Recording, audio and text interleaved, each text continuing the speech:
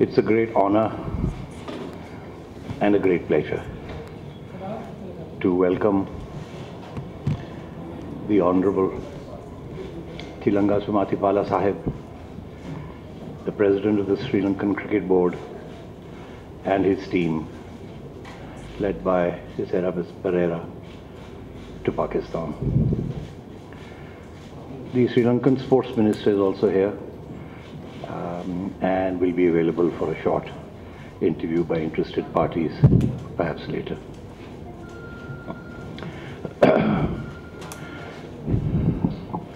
this is really a historic occasion. Eight or nine years ago, there was a tragedy which we wish to forget. And this is the beginning of that journey of moving on.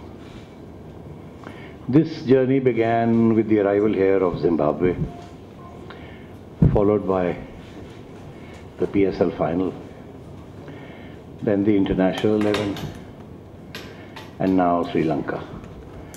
But this is historic because it marks the beginning of a new era of international cricket at home.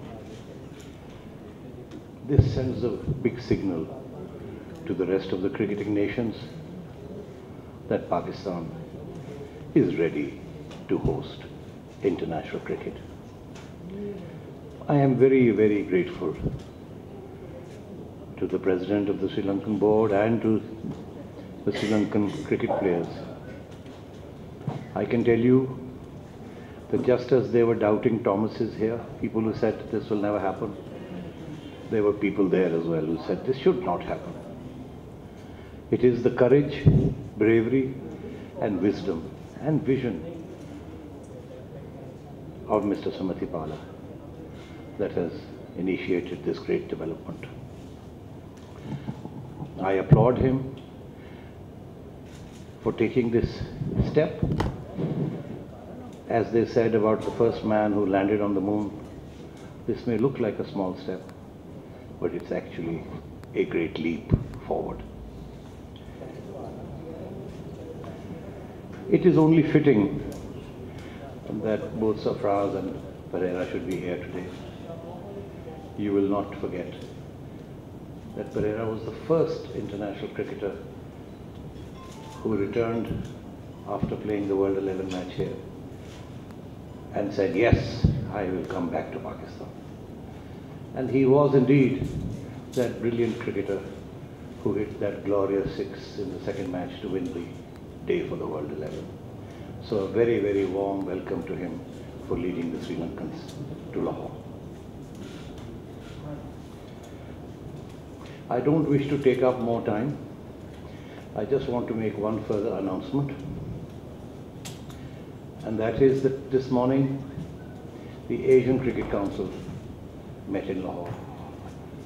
Uh, this too is an initiative that was taken by Mr. Sumathipala.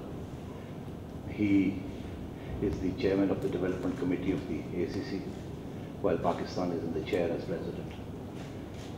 And we decided when we last met in August that this meeting should take place here so that it could send another big signal to the rest of the cricketing world. So we have the representatives of four or five other cricketing nations here today representing their countries in the Asian Cricket Council. And today, with his support, we took another major decision which I am going to announce. And that decision is that next year in April, next year in April, the Asia Cup for emerging players will be held in Pakistan. This is going to be another major development. And this will have six countries, five of which are the international ICC full members, Pakistan, Sri Lanka, Bangladesh, Afghanistan and India.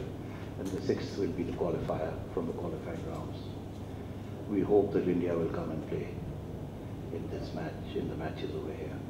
And we will have more than one venue, I can assure you.